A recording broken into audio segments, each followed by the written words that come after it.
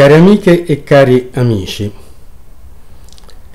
abbiamo visto la passione di Bede Griffith per l'Advaita Vedanta e di come studiando l'Advaita Vedanta con i grandi intellettuali indiani, con grandi maestri, con grandi guru indiani e quindi praticando direttamente la meditazione non duale, ecco abbiamo visto come Bede Griffith si intuisce che c'è la possibilità di un cristianesimo advaita.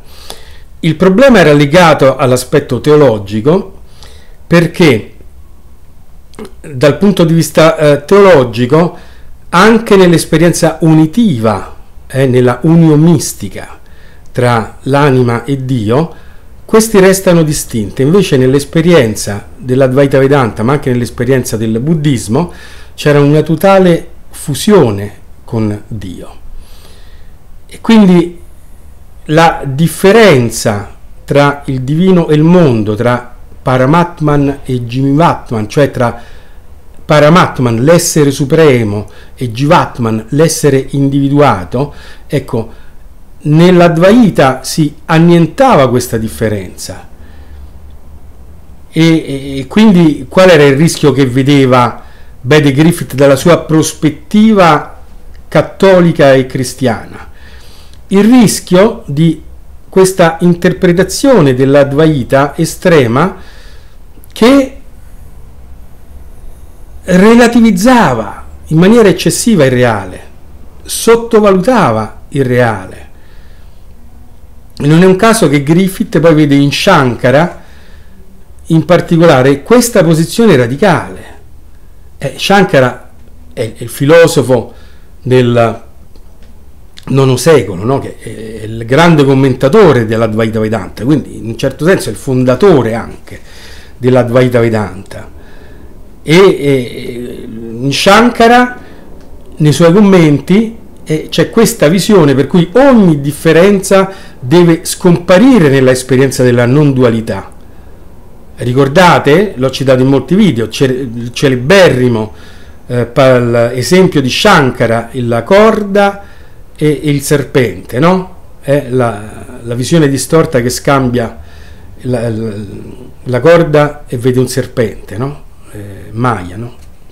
Ne ho parlato in altre playlist sull'Advaita Vedanta, quindi vedete lì, e sarà approfondito questo esempio. Adesso giusto per citarlo, per gli amici che mi seguono.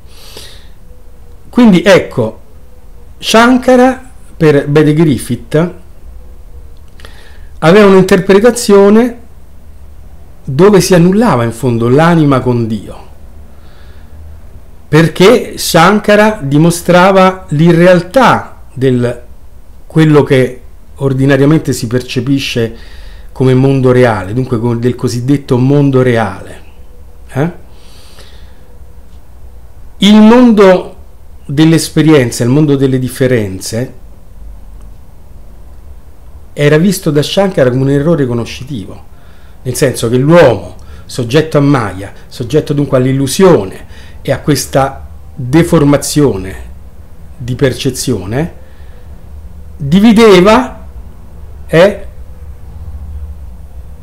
il mondo in due, c'era una sovrapposizione illusoria su una realtà che fondamentalmente era non duale, invece c'era una sovrapposizione duale. Eh? Questo è quello eh, che si ritrova poi nell'essenza nei commenti di Shankara. E dunque, sempre in Shankara che cosa accadeva? Che quando l'ente, quindi quando ciascuno di noi per capirci, un praticante, si risveglia mediante una ferrea disciplina mistica che cosa accade? Cadono i diaframmi, cioè eh, il risveglio comporta la perdita dei diaframmi, la visione diretta della realtà, l'evaporazione di Maya potremmo dire, e dunque l'immersione definitiva nel Brahman come unica realtà. E scrive Griffith, Ora vi leggo proprio le sue parole da un suo saggio. Nel Vedanta si solleva sempre un problema, se il mondo è reale, non può essere distinto da Dio, cadendo nel panteismo, che è affermare che il mondo è divino. Oppure, come fa Shankara, volendo essere determinati a preservare la purezza della natura divina, si è costretti a negare la realtà del mondo.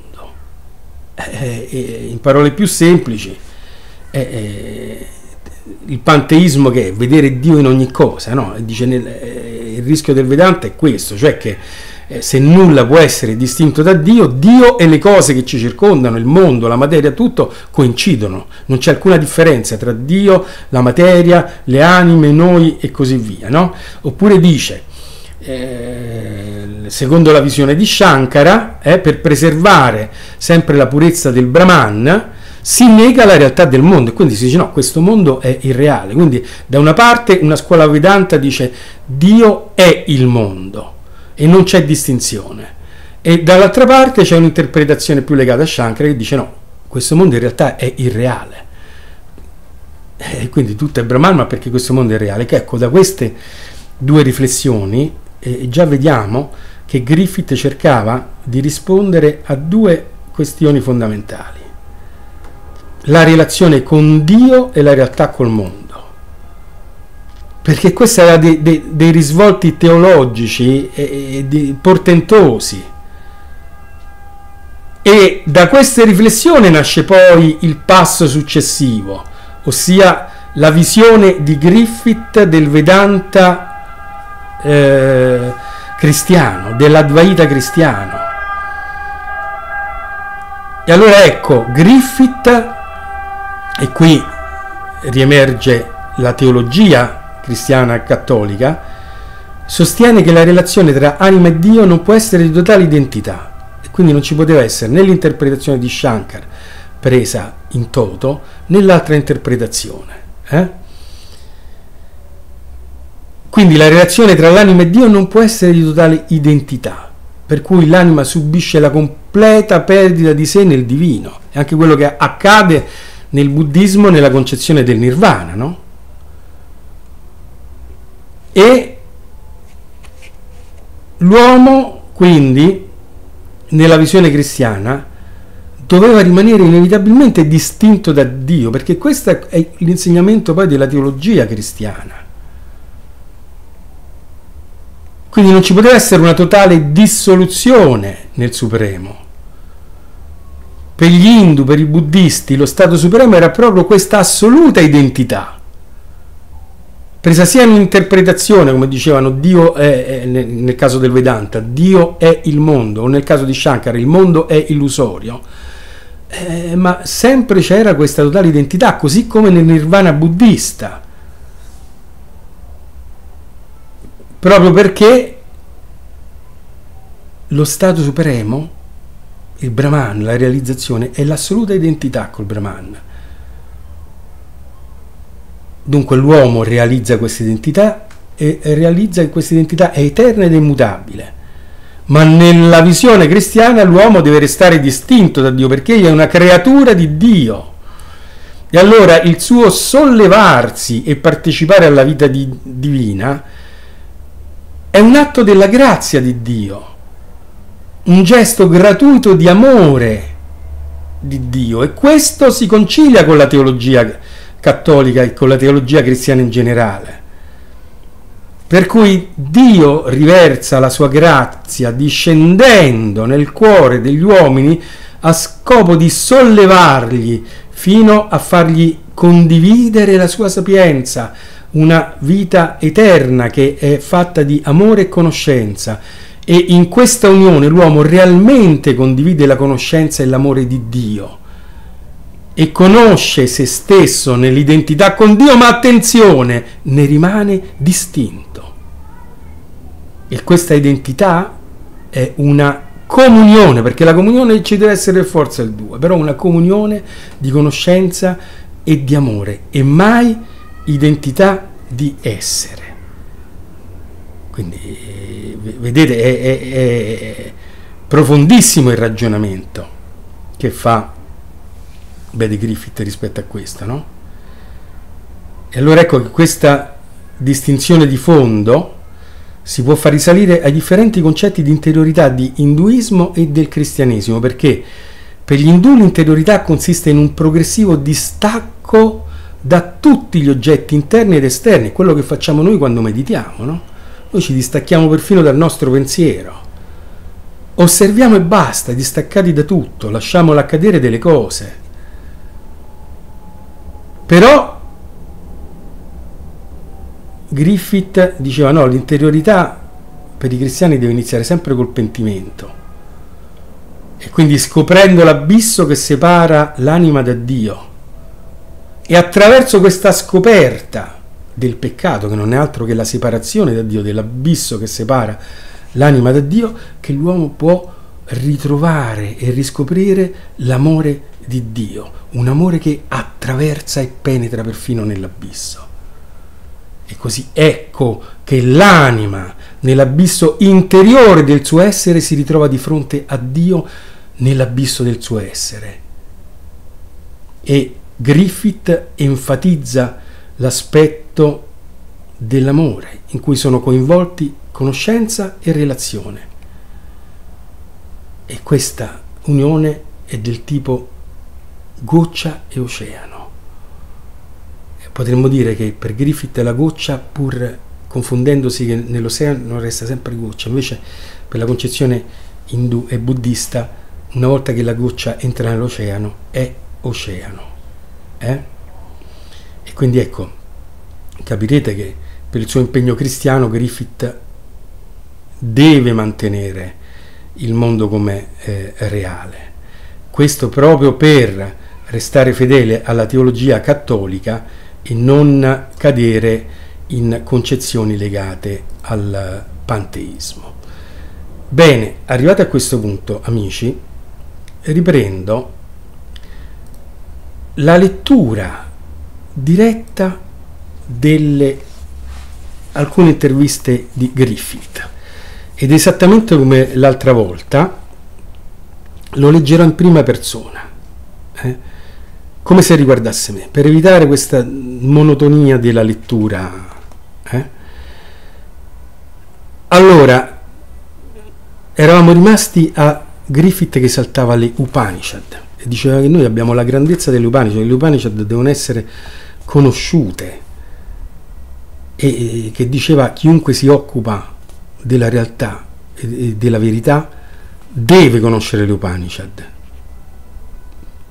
e allora, e qui ripeto, è Griffith ma parlo in prima, in prima persona,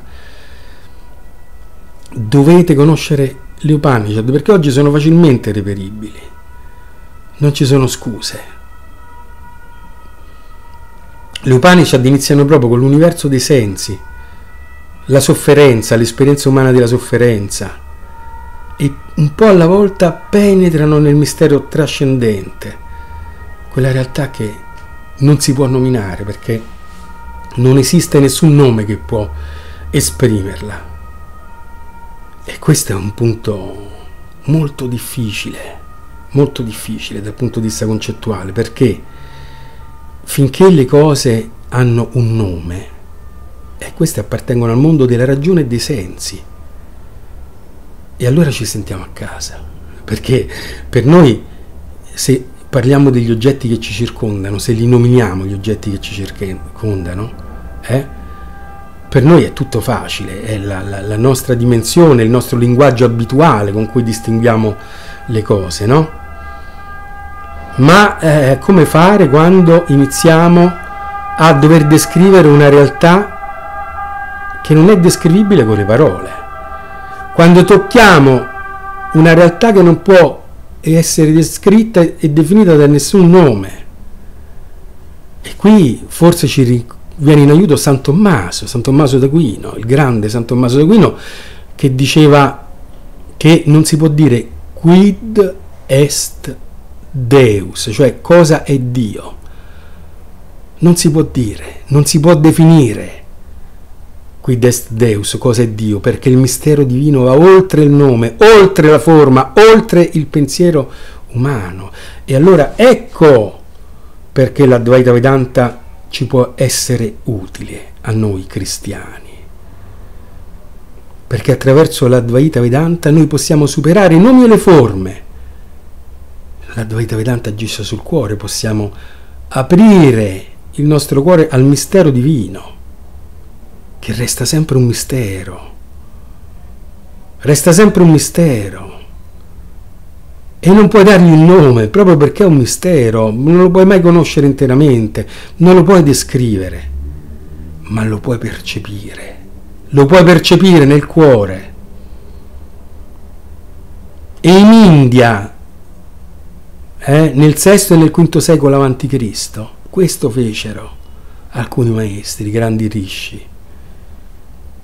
Sentirono questo mistero nel cuore e lo chiamarono Brahman. Brahman, che parola magnifica! Non significa una cosa sola. La radice br significa crescere, accrescersi, anche gonfiarsi. E è legato all'offerta sacrificale, che era l'elemento centrale dell'intero culto sacrificale induista. Si accendevano un fuoco, saliva verso il cielo e si offriva tutto quanto. Il fuoco cresceva Ecco il dio del fuoco, brr, crescere, gonfiare, il fuoco diventa enorme, va verso il cielo, è il messaggero degli dei e trasporta tutto quello che è bruciato nel fuoco verso la maestà del cielo. E il sacerdote offriva il sacrificio, brr, e il fuoco cresceva, brr, e lui diceva Brahman, Brahman. Ecco l'universo intero. La forza del sacrificio è quella dell'universo intero, perché il pensiero antico riteneva che il sacrificio fosse l'essenza del mondo. Sacrificare vuol dire sacrum facere, fare qualcosa di sacro è anche rendere sacra qualcosa. E noi sappiamo bene in Occidente quanto abbiamo desacralizzato le cose, quanto nulla è più sacro, per cui non resta nulla di sacro. Sì, esistono dei santuari, dei luoghi che le persone vanno in pellegrinaggio a visitare, ma nel comune sentire la sacralità è perduta, non esiste più. Invece nel mondo antico collegava il mondo del tempo, dello spazio e della materia alla realtà trascendente. Pensate che meraviglia. E allora che voleva dire rendere una cosa sacra? Fare un sacrificio, dunque esporre quella cosa al divino, donarla al divino e in questo renderla partecipe della dimensione del trascendente. E allora capirete che tutto deve essere sacro in questo modo. E ancora oggi se andate in India questo non si è perso. Mangiate, bevete, vi fate il bagno, tutte azioni sacre, esattamente come nell'antichità. C'è un'usanza induista che non sempre si segue, però è molto diffusa, si prende una foglia di banano, si riempie di riso, di cibo, poi si cosparge d'acqua la zona intorno, perché così si crea un posto sacro. E in questo modo si tengono lontane tutte le forze demoniache, tutte le forze contrarie. È l'acqua sacra che purifica lo spazio. E allora ecco il cibo è un'offerta al divino. Ed è il divino che consuma gli alimenti nel vostro stomaco. È il divino. E questo cibo viene sacrificato, ossia viene offerto, è lì che sacrum facere, il cibo è reso qualcosa di sacro e quando tu lo mangi ti stai nutrendo di qualcosa di sacro e ti stai unendo con Dio. E allora ecco la grandezza della tradizione antica, della tradizione vedeva il mondo come sacro nell'essenza, tutto era sacro. Di conseguenza tutto doveva essere consacrato a Dio perché a Dio apparteneva e quindi veniva collegato alla realtà trascendentale. Poi, fra VI e V secolo a.C., si superarono perfino le divinità, gli spiriti, le forme esteriori di cui era intrisa anche la mitologia indiana. Ed ecco che si scopre la realtà senza nome, Advaita, la realtà non duale. Quella realtà senza nome e senza forma che chiamarono Brahman o Atman. Ma attenzione perché anche il buddismo ha qui un messaggio meraviglioso per tutti. Perché Buddha demolì questo pass- mondo fatto di sensi, di passioni, di attaccamenti, di desideri e sacrificò anche lui tutto questo nel brr, nella grandiosità del fuoco che cresce verso l'alto, che partecipa alla realtà metafisica, il sacrificio del fuoco. E in questo sacrificio Buddha scoprì il nirvana, questa gioia pura, questa realtà che è oltre il mondo ed oltre tutto. E che gioia aver trovato il nirvana. Che gioia aver trovato la strada, oltre la sofferenza, la via di mezzo, oltre il due.